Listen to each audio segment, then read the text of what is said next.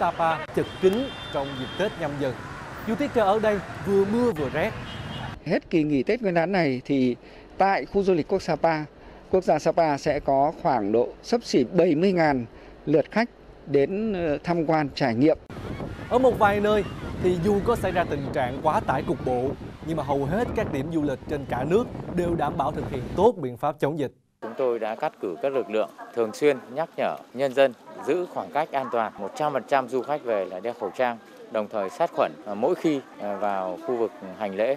Bản thân tôi thì đã tiêm đủ hai mũi vaccine rồi nên là cảm thấy rất là an tâm. Thì à, các biện pháp phòng ngừa dịch ở đây thì rất là tốt.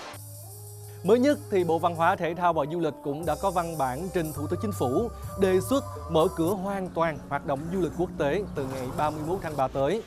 Sự ấm lên của thị trường du lịch đã thấy rõ và giờ đây thì chúng ta hoàn toàn có thể đi du lịch một cách an toàn.